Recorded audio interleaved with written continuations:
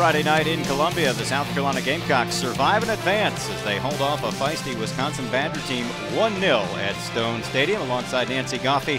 I'm Brad Muller. Well, we had an exciting match between two very good teams Friday night. South Carolina got one goal by the freshman Luciana Zullo, but a real gritty effort by both teams. Wisconsin did a good job of controlling pace for much of the game. Absolutely, and it started with them getting numbers behind the ball and pressing forward with a lot of numbers, which made it really hard for the Gamecocks to really get their possession under control. As we take a look at the highlights, it really felt like Wisconsin was going to take advantage of those possessions, but Zullo, the freshman, provided the score. Great, great strike with the left foot inside that post fifth year, fifth goal of the year for the freshman, but some good chances for the Badgers throughout the contest. Mikayla Krzeczowski, the Gamecock goalkeeper, was busy all night long. And she had to be on point tonight. She had to hold on to the ball and read that service really well because she was tested. Certainly was. And Gamecocks able to deny several chances throughout the game.